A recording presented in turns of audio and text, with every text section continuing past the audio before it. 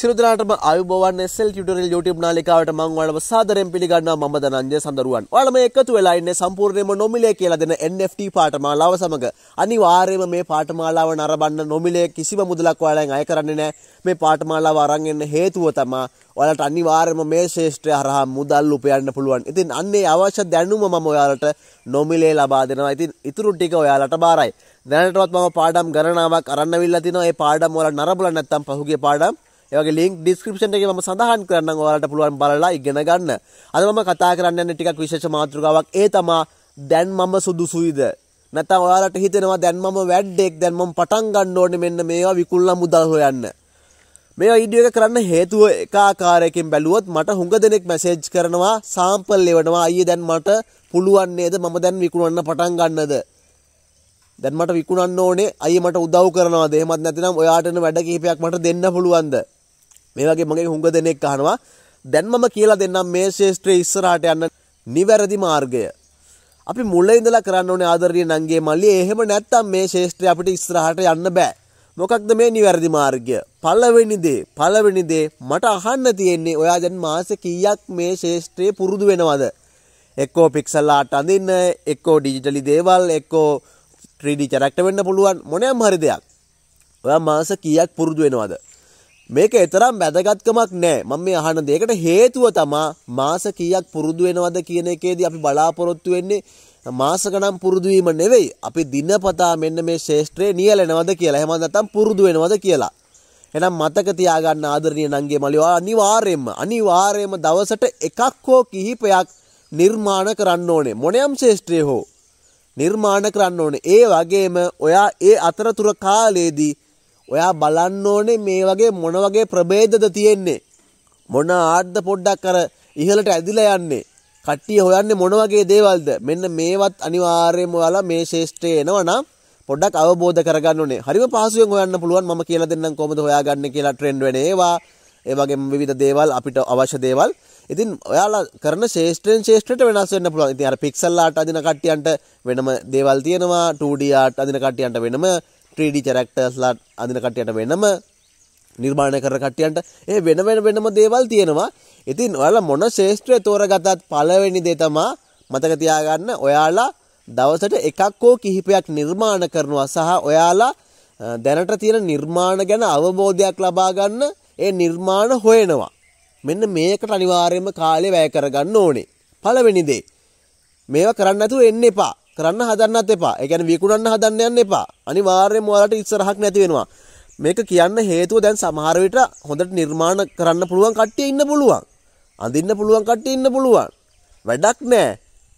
එහෙම වැඩක් නැහැ. මේ පිළිවෙලට ගියේ නැත්නම් ඔයා කොච්චර අඳින්න පුළුවන් වුණත් වැඩක් නැහැ. ඒක නිසා මතක තියාගන්න අපි මුලින්ම කරන්න ඕනේ දිනපතා නිර්මාණ කරන්න ඕනේ. ඒ වගේම අපි අලුතින් බිහිවුණ නිර්මාණ සහ දැනට බිහිවෙච්ච නිර්මාණ ගැන පූර්ණ අර අවබෝධයකින් යුතුව කටයුතු කරන්න ඕනේ. ඒ ගැන හොයන්න ඕනේ මොනවද ට්‍රෙන්ඩ් වෙන්නේ? මොනවද මේ ආර්ට් වල තියෙන පොඩ්ඩක් විශේෂ ලක්ෂණ? මොනවද මේ කාලේ අඳින්නේ? මේවා හොයන්න ඕනේ. ඉතින් ඔයාලට අවශ්‍ය නම් Google එකේ සර්ච් කරන්නත් පුළුවන්. එහෙමත් නැත්නම් ඔය NFT විකුණන මාකට් ප්ලේස් තියෙනවා. ඒ මාකට් එකකට ගිහිල්ලා ඔයාලට තව අවබෝධ ලබා ගන්න පුළුවන්. මම ඒ ගැන ඉදිරියට කතා කරන්න ඔයාලත් එක්ක කියලා දෙන්නම් කොහොමද කරන්න කියලා. එහෙනම් මෙන්න මේකට කාලය අනිවාර්යෙන් දැන් අරින්න ඕනේ. ඔයා දැන් මේවා විකුණන්න හිතන කෙනෙක් නම් මේක දැන් කරගෙන යන්න ඕනේ. අඩුම සති දෙකක් තුනක්වත් මේ දේ කරන්න ඕනේ. එතකන් විකුණන්න හදන්න එපා. එහෙනම් ඔන්න ඒ දේ වල කරනවා. දෙවැනි එක මේකත් විශේෂම වැදගත්කමක් තියෙන දෙයක්. ඒ වගේම මේක තමයි විශේෂම වැදගත්ම දේ. ඔයාලා නිර්මාණ එකතුවක් හදා ගන්න ඕනේ. ඒ කියන්නේ හොඳ පෝර්ට්ෆෝලියෝ එකක් හදා ගන්න ඕනේ. තේරෙන්නේ නැත්නම් ඔයාලා කරපු පහුගිය නිර්මාණ. උදාහරණයක් මම මේ ගන්නෙ.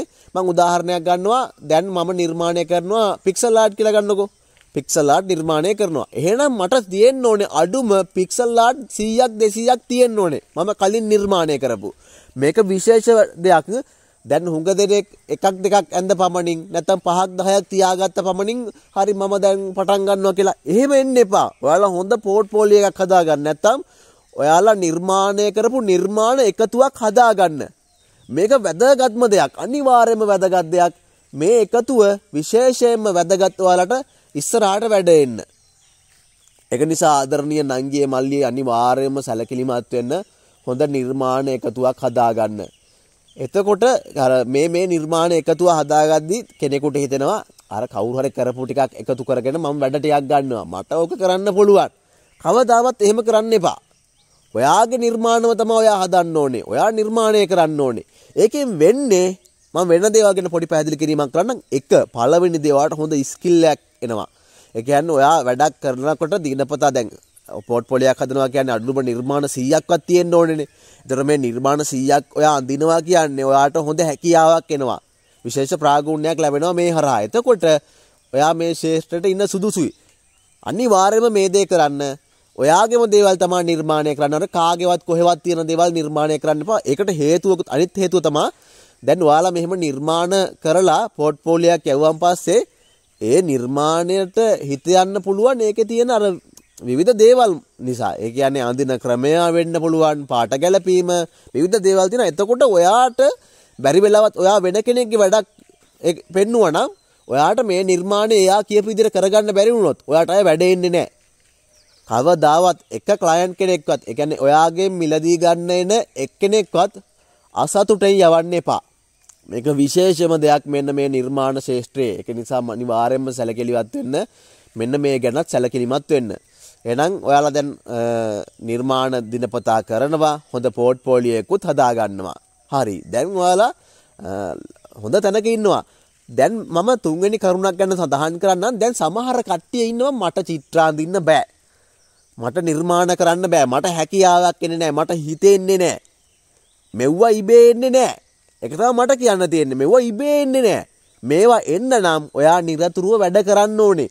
දැන් ඔයාලා හිතනවා නම් අර උප්පත්තියෙන්ම චිත්‍ර අඳින්න පුළුවන් පොරක් ඉන්නවා සුපිරි පොරගේ හැකියාව නැත්තම් උප්පත්තියෙන්ම තමයි ඌ මේ මේ හැකියාව අරන් අවිලා තියෙන්නේ එහෙම එවුන් නෑ ඉන්න පුළුවන් කලාතුරකින් අපි කියමුකෝ කලාතුරකින් ඉන්න පුළුවන් හැබැයි මම විශේෂම දෙයක් කියනවා ඔයාලා කිසියම් දෙයකට දක්ෂ නැත්තම් ඔයාට චිත්‍ර අඳින්න බැරි නම් ඔයාට දෙයක් නිර්මාණය කරගන්න බැරි නම් ඔයාගේ වැරද්දක් ඒ තියෙන්නේ ඒ තමා ඔයා පුරුදු වීම කියන දේ කරලා නැතිකම. දැන් චිත්‍ර අඳින්න බෑ කියන කෙනෙකුට කොලේකුයි පැන්සලකුයි දීලා ඇඳපිය ඇඳපිය කියලා මාස දෙක තුනක් අඳින්න පටන් ගත්තොත් එයා අර කලින් ඇඳර වැඩිය හොඳට අඳිනවා. ඕක ටික කාලයක් කරගෙන යනකොට හිතා ගන්නවත් බැරි චිත්‍ර ශිල්පියෙක් වෙනවා. මම 100ට 100ක් මම කියනවා මම තහවුරු කරනවා අනිවාර්යයෙන්ම මේ දේ වෙනවා. දැන් අපේ අපේ අර හිත අපේ අර හිත ක්‍රියාත්මක කරනවා අපි දෙයක් කරන්න ගියාම අනේ මට බෑනේ. මට ඕක කරන්න බෑ. මං හරියන්නේ නැහැ ඔකට. ඔක මට බෑ. මට මට ඔක කොච්චර ඇඳත් බෑ. ඇයි මගේ හිත කැමති නෑ මං වැඩක් කරනවට.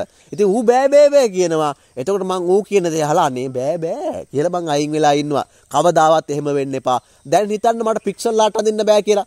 ගනිල්ලා ෆෝන් එකක් නැත්නම් ගනිල්ලා මැෂින් එකක් පරිගණකයක් ගන්නවා. අදින්න පටන් ගන්නකො. හරිම ලේසි. ඔයාට සත්‍යයක් දෙකක් ගන්නකොට ඔයාට හොඳ ස්කිල් එකක් එනවා. එතකොට ඔයාට මේ ශේෂ්ත්‍රය අනිවාර්යයෙන්ම ඉස්සරහට යන්න පුළුවන් විශේෂයෙන්ම මම මේ දේ කියනවා මගෙන් අහනවා හුඟ දෙනෙක් මේ ගැනත් අයියේ මට අඳින්න බෑ එතක ඌ ඇඳලා තියෙන එකෙක්ද මේ නෑ ඉතින් ඌට අඳින්න බෑ තමයි ඌ පුරුදු වෙලා නෑනේ එහෙම පුරුදු වෙන්නේ නැතුව මොනවත් දෙයක් කරන්න බෑ දැන් ඔයාලා හිතනවා නම් අපේ පන්තියක දැන් ඔය අපි ගත්තොත් චිත්‍ර අඳින්න පුළුවන් හොඳම කට්ටිය ඉන්නවා විවිධ දේවල් කරන්න දක්ෂයෝ ඉන්නවා ඉතින් මෙන්න මේ දක්ෂයෝ මම කියන්නේ ඒ දක්ෂයෝ බිහිවුණේ කොහොමද? සමහර විට හිතන්න දැන් චිත්‍ර අඳින්න පුළුවන් එක කියලා චූටි කාලේ ඉඳන් චිත්‍ර අඳිනවා වෙන්න පුළුවන්. බහුතරයක් කොහොම තමයි වෙන්නේ? එයා චිත්‍ර අඳිනවා පොඩි කාලේ ඉඳන් ගෙදර ඉඳන් චිත්‍ර අඳිනවා, බිත්ති වල චිත්‍ර අඳිනවා. ඉතින් මුට චිත්‍ර අඳින්න පුළුවන් තමයි අයියේ. ඌ පොඩි කාලේ ඉඳන් පුරුදු වෙලානේ. ඉතින් වෙන එක චිත්‍රයක් අදින්වත් අල්ල අඳපු නැති එකක් ඇවිල්ලා කියනවා මට චිත්‍ර අදින්න බෑ කියලා. ඉතින් ඇත්තනේ ඉතින් ඌ පුරුදු වෙලා නැහැ නේ. එහෙනම් ඌ පුරුදු වෙන්න ඕනේ. මේක හැමෝටම වැදගත්. මෙහෙම කියන්න හේතුව අද කාලේ හුඟ දෙනෙක් මේ මගේ අයින් වෙනවා. අනේ මට කරන්න බෑ. මම හරියන්නේ නෑ මේකට. මෙහෙම අයින් වෙනවා. එහෙම වෙන්න එපා. මේ ශේෂ්ඨ වල ඉස්සරහට යන්න පුළුවන්. ඒ ඒ මානසිකත්වය නැති කරගන්න. දැන් හිතන්න දැන් මට පරිගණක බෑ කියලා එක්කෙනෙකුට හිතෙන්න පුළුවන්. ඇත්තටම උට පරිගණක බෑද? පරිගණක හැමෝටම මුලින් එද්දි බෑනේ. උන් පරිගණකයක් ඔබලා ඔබලා ඔබලා ඔබලා ඒක ගැන ඉගෙනගෙන අඳින්නේ කොහොමද වැඩ කරන්නේ කොහොමද ක්‍රියාත්මක කරන්නේ කොහොමද පොරලා හොයලා තමයි ඉගෙනගෙන තියෙන්නේ නැත්තම් ගහෙන් ගෙඩියෙන්න වගේ මෙන්න දෙයියෝ දින්නේ නැහනේ උඹට පරිගණකයක් මෙහෙවීමේ හැකියාව ලැබේවා කියලා හැම බලයක් දෙන්නේ නැහනේ ඒ පුරුදු වෙලා. මම මේ කියන්න හදන්නේ ආදරණීය නංගියේ මල්ලියේ. පුරුදු වෙන්න වැඩ කරන්න වැඩ කරද්දී ඉබේම වලට හැකියාව ලැබෙනවා. දක්ෂ වෙනවා. මේ ශේෂ්ත්‍රයේ ඉස්සරහට යන්න පුළුවන් බෑයි කියලා දෙයක් නෑ. ආසාව වැදගත්. අන්න ඒක තමයි ප්‍රධාන වැදගත්කම තියෙන්නේ. ඔයා කැමැත්තක් තියෙන්න ඕනේ. මොකද අපේ මොළය තමයි මේවා මෙහෙවන්නේ. කැමැත්ත වෙන්න පුළුවන් විවිධාකාරයෙන්. උදාහරණයක් විදිහට මට ආර්ට් චිත්‍ර නිර්මාණය කරන්න බෑ. හැබැයි මට මුදල් හොයන්න ආසාවක් තියෙනවා. එහෙනම් මුදල් හෙවීමේ ආසාව මගේ ඔළුව තුලට දාගත්තන් පස්සේ මම චිත්‍ර අඳිනවා. ඇයි චිත්‍ර අඳින්න ආසාවෙ නෙමෙයි. මුදල් හොයන්න ආසාවෙ. ඒ වගේ ආසාවක් ඇති කරගන්න. එතකොට මොලේ මෙහෙවන්න පුළුවන්. නැත්නම් අපේ මොලේ තනිකර වැඩ කරන්නේ මේ දේ ඔබ කරන්න එපා. මොකද ඌ කැමති නැහැ වෙහෙසෙනවට. ඒකට විවිධ හේතු බලපානවා. මම ඉස්සරහට හොන්නම් කතා කරන්නම් ඒ ගැන. ඇයි මෙහෙම හිතෙන්නේ අපිට? ඇයි දෙයක් කරන්න බැරි? ඇයි නිදිමත එන්නේ? ඇයි කම්මැලි හිතෙන්නේ? මේකට විවිධ හේතු තියෙනවා. ඒ තමා මේ සේරම මේ සේරම යටපත් කරන්න පුළුවන්. මට එච්චරයි කියන්න තියෙන්නේ. මම ඉස්සරහට කතා කරන්නම් එහෙම හිතෙන්නේ ඇයි කියලා. දැනට මේ මේ අද මාතෘකාව වෙනම දෙයක් ඉඳලා මම කියන්න ඒ සේරම යටපත් කරන්න පුළුවන්. ඔයාගේ හිත. මොකද කරන්න ඕනේ මම මේකෙන් සල්ලි හොයන්න ඕනේ මම වැඩ කරන්න ඕනේ එහෙමත් නැත්නම් මම මේකට ආසයි මම දිගටම කරන්න ඕනේ අඩු මම දවසට පහක්වත් කරන්න ඕනේ අවසර 10ක්වත් කරන්න ඕනේ මෙහෙම පොඩ්ඩක් හදාගෙන වැඩ කරන්න පටන් ගන්න අනිවාර්යයෙන්ම ඉස්සරහට යනකොට මටවත් ඔයාලව නවත්තන්න බෑ. එපා එපා දැන් ඔබලා මේ සල්ලි හොයනවා කියලා මටවත් නවත්තන්න බෑ. ඔයාලට අනිවාර්යයෙන්ම ඉස්සරහට යන්න පුළුවන්. ඉතින් මට කියන්න තියෙන්නේ මෙන්න මේ මාතෘකා ගැන අද මේ මේ වගේ දේවල්. ඒක නිසා අර හිතෙන් ඇති වෙනවා නම් මට දෙයක් කරන්න බෑ කියන එක ඒකත් ඒකත් නැති කරගෙන වැඩ කරන්න පටන් ගමු. ඊළඟට මම ප්‍රධාන වශයෙන්ම කියන මේ NFT වලදී අපිට මුදල් හොයන්න පුළුවන් මේ NFT ශේෂ්ත්‍රයෙන් ප්‍රධානම දෙයක් තමයි NFT වලට අවශ්‍ය ඩිජිටල් දේවල් නිර්මාණය කළා. ඒ කියන්නේ පික්සල් ආර්ට් වෙන්න පුළුවන් 2D ආර්ට් වෙන්න පුළුවන් 3D චැරක්ටර් වෙන්න පුළුවන් වීඩියෝ වෙන්න පුළුවන් ඇනිමේෂන් වෙන්න පුළුවන්. මොනවාම හරි ඩිජිටල් දෙයක් නිර්මාණය කරලා සල්ලි හොයන්න පුළුවන්. මොකද ඔයාලා දන්නවා ඉදිරියට මේ ශ්‍රේෂ්ඨ තමයි බිහි වෙන්නේ. මේ ඩිජිටල් දේවල් වලට තමයි වැලියු එකක් එන්නේ. ඉතින් දැන්ම පටන් ගන්න තාමත් පරක්කු නෑ. ඔයාලා කැමති ඕනෙම ශේෂ්ත්‍රකින් පටන් ගන්න පුළුවන් නම් ඊළඟට වෙන්න ඕනේ මෙන්න මේ වගේ කෙනෙක්. දැන් ඔයාලා මේ වෙනකොට විවිධ NFT ආර්ට් ගැන අවබෝධයක් ලබාගෙන ඒවා නිර්මාණය කරනවනේ. ඒවා නිර්මාණය කරගෙන මේක මම 100ට 100ක් වෙන්නම කියන්නේ නෑ. පුළුවන් නම් කරන්න ටිකක් වෙනස් වෙන්න. දැන් ඔයා හිතන්නකෝ මම පික්සල් ආර්ට් එකක් නිර්මාණය කරා. මම නිර්මාණය කරා. දැන් මම දකින්නවානේ සාමාන්‍ය පික්සල් ආර්ට් තියෙන්නේ. ඊට වඩා ටිකක් වෙනස් වෙන්න. ඒ වෙනස් වෙන්න පුළුවන් අඳින ලයින් වලින් පාවිච්චි කරන පාට වලින් තමන්ගෙම නිකන් අර ස්කිල් එකක් නැත්නම් තමන්ගෙම අර විශේෂ වූ දෙයක් හදාගන්නකෝ අනිවාර්යයෙන්ම වැඩ එනවා. ටිකක් විශේෂ වෙන්න. මම මේක මේ දැම්ම එකවරම වෙන්න කියනව නෙවෙයි. ඔයාලා දේවල් නිර්මාණය කරගෙන යනකොට ඉබේම ඔයාලට එහෙම දෙයක් වෙනවා. මොකද මේ ලෝකේ පුද්ගලයන් විවිධාකාරයි හිතෙන විදිය වෙනස්. තමන්ට විශේෂිත වූ අර ආරක් එනවා. තමන්ට විශේෂිත වූ ආරක් එනවා. තමන්ට විශේෂිත වූ හැකියාවක් ඉබේ හැදෙනවා. අනිවාර්යයෙන්ම ඉස්සරහට යන්න පුළුවන්. මේක එකවර වෙන්නේ නැහැ. මම කියන්නේ ඊළඟ අඩිය අර මුල් අඩි ටික ඒ කියන්නේ මුල් ටික නැගගෙන එන්න ඕනේ. අර එකවර පැරිෂුට් වලින් නැගලා එන්න එපා. පැරිෂුට් වලින් නැගලා මට විශේෂිත වූ ආරක් හදා ගන්න ඕනේ කියලා දාංගාල අර මේ නිකන් අර කලින් පුරුදු වෙන්නේ නැතුව එකවර ඇවිල්ලා විශේෂිත ආරවල් හොයන්න එපා. හාද දැන් මම මේ කියන්නේ මේ පැරිෂුට් වලින් එන කට්ටිය ටක් ගාලා පැරිෂුට් වලින් බහැලා අර පඩි පෙලෙම නැගගෙන වරෙල්ලා. මුල්ල ඉඳන් පුරුදු වෙලා ඒ පිළිවෙලට ඇවිල්ලා ඊළඟට ඊළඟ ස්ටෙප් එක තමයි ඔයාලට විශේෂ වූ ආරක් හදාගන්න එක. එතකොට වැඩ ගොඩාක් එනවා. මොකද ඔයා වෙනම ඩිසයින් කෙනෙක්. ඔයාට වෙනම පැටර්න් එකක් තියෙනවා. එතකොට එහෙම වෙන්නේ කොහොමද? ඔයාලා බලනවා දැනට ආර්ට් තියෙන කොහොමද? ඔයාලාගේ ලයින් වලින් කියන්නේ ලයින් දැන් මම උදාහරණයක් විදිහට 2D ආර්ට් කරන්නම් ගන්නම්. එතකොට මේ ලයින් වලින් ලොකු දෙයක් කරන්න පුළුවන්. එතකොට ඒ යූස් කරන කල අනුව තව දෙයක් කරන්න පුළුවන්. ඒ අඳින චිත්‍ර වර්ගය අනුව නැත අඳින වර්ගය අනුව වෙනස් වෙන්න පුළුවන්. මෙහෙම Tamanටම වූ ආරක් හදා ගන්න පුළුවන්. මම කතා කරේ එක ශේෂ්ත්‍රයක් 3D චැරක්ටරයක් ගන්නකො. එයාලටත් මේ දේම කරන්න පුළුවන්. එහෙනම් Tamanට වූ විශේෂිත වූ දෙයක් හදා ගන්නවා අනිවාර්යයෙන්ම මෙන්න ට්‍රැක් එකට වැටෙනවා. අය ඔයාවන්න මත්තන්න බෑ. ඉතින් මෙන්න මේ විදිහට තමයි පටන් ගන්න ඕනේ. එහෙනම් මතක තියාගන්න මම අද බේසික් නැත්නම් මූලික අධ්‍යයන කතා කරා මේ ශේෂ්ත්‍ර ගැන. පළවෙනි දේ දිනපතා වැඩ කිරීම, දෙවෙනි එක අනිවාර්යයෙන්ම වැදගත් වෙන දේ හොඳ පෝට්ෆෝලියෝයක් හදා ගැනීම. නැත්නම් පසුගිය වැඩ කරපු එකතුවක්. මේක වැදගත් වෙන්නේ ඔයාලට වැඩක් එනකොට කෙනෙක් බලන්නේ ඔයාලා පහුගිය කරපු වැඩ ටික.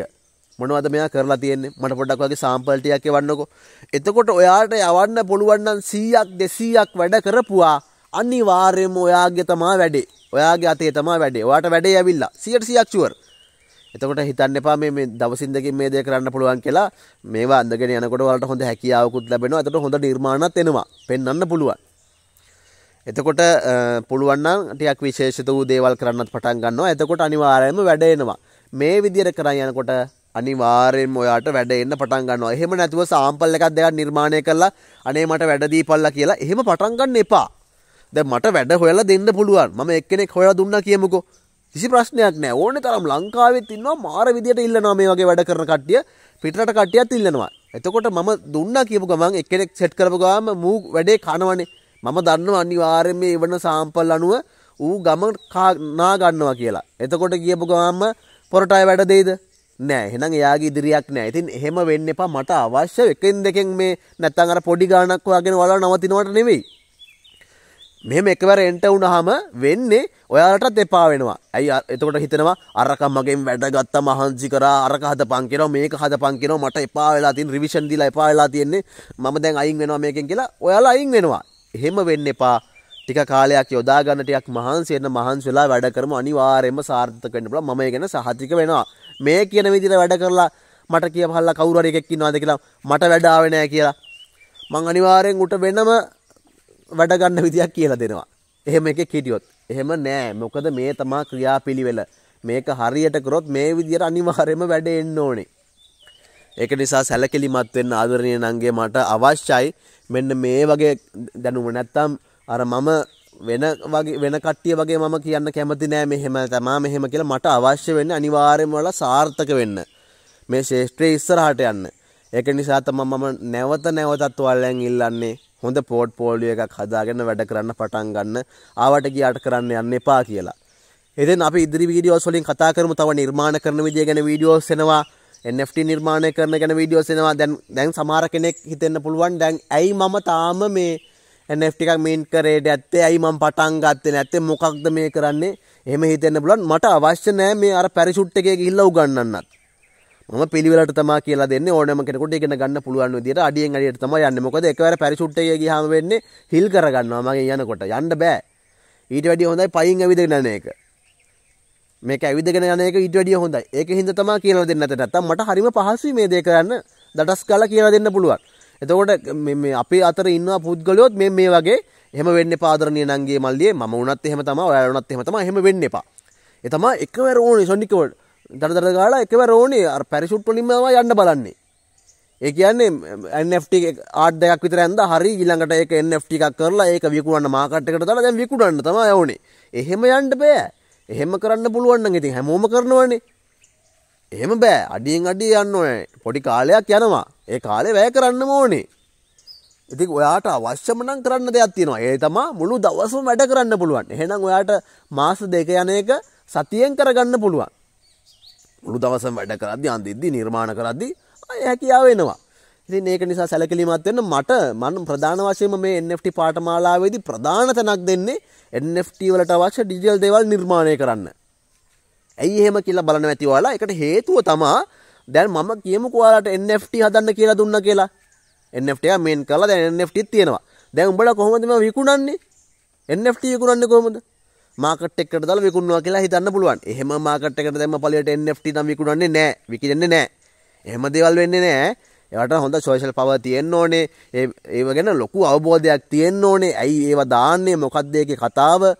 එන කතා කතන්දරයක් තියෙනවා. එහෙනම් ඔයාලට එතෙන්ට අර මම දන්නවා. දැන් මම කියලා දුන්න පළියට උඹලා සෙල් කරන්න මාකට් එකකට දැම්මට සෙල් වෙන්නේ නැහැ. හැබැයි ඊට වඩා දෙයක් කරන්න පුළුවන් NFT වලට අවශ්‍ය ඩිජිටල් දේවල් නිර්මාණය කරලා. එව්වා ඉල්ලනවා එව්වට මාර ඉල්ලුමක් තියෙන්නේ මොකද අර සෝෂල් පව තියෙන කට්ටිය ඒවගෙන් වැඩක් ගන්න පුළුවන් කට්ටිය එව හදා ගන්නවා නිතර ඉතින් ඒක නිසා මට මේ මුල ඉඳලා කියලා දෙන්න උවමනාවක් තියෙන්නේ මේ NFT හදන හැටි කියලා දෙනවා. ඒ කියන්නේ අනිවාර්යයෙන්ම සාධික වෙනවා කියලා දෙනවා. ඊට කලින් මේ මේ සල්ලි හොයන්න පුළුවන් පැති වලට උඹලා වරයන් තමයි මේ හදන්නේ. ඒව ගැන කියලා දෙන්න තමයි හදන්නේ. නැත්තම් මට හරිම ලේසියෙන් මේක ඉවර කරන්න පුළුවන්. මෙන්න හැදුවා NFT එකක්. මෙන්න දැන් උඹලා විකුණ ගනින්න කියලා. විකිනේද එකෙක්ගේ විකිනෙන්නේ නැහැ. එහෙම විකිනනව නැහැ. ඉතින් මමත් දානවනේ ගිහිල්ලා මාකට් එකට දාලා විකුණනවනේ. එහෙම විකිනෙන්නේ නැහැ. ඒකටත් කාලයක් යනවා. මේ නිර්මාණ කරලා ටික කාලයක් යනකොට අනිවාර්යෙන් ඒ ශේෂ්ත්‍රයට වලට බහින්න පුළුවන්. මොකද එතකොට ඔයාලා දන්නවා මේ ගැන සම්පූර්ණ ඉගෙනගෙන තියෙන NFT වල ක්‍රියාදාමය මොකද්ද? කොහොමද විකිනෙන්නේ මොනවද බලපාන්නේ? මොකද මේ මේ ඩිජිටල් දේවල් ඉල්ලන කට්ටිය ඔයාලට ඉස්සරහට තේරෙයි වැඩ දෙනකොට තේරෙනවා. ඇයි මේකේ බලාපොරොත්තුව මොකක්ද මෙයාලා මේ කරන්න යන්නේ? එතකොට උඹලගේ හොඳ නොලේජ්ජයක් ඇවිල්ලා. එතකොට පුළුවන් අන්න NFT විකුණන්නත් පටන් ගන්න. ඒ කරන්නේ කොහමද? ඩිජිටල් දේවල් විකුණලා හොඳ දැනුමක් ආවට පස්සේ NFT වලට බහින්න පුළුවන්. එහෙම ඉස්සරහට යමු පිළිවෙලින් පිළිවෙලට ගමනක්. ඉතින් ඊළඟ පාඨමාලාවේ වීඩියෝස් වල හම්බෙමු. තාමත් channel එක subscribe කරලා නැත්නම් අනිවාර්යයෙන්ම අලුතින් ආව කෙනෙක් නම් subscribe කරලා එකතු වෙන්න. ගිහිල්ලා නම් ඔයාලට සුබ දවසක්.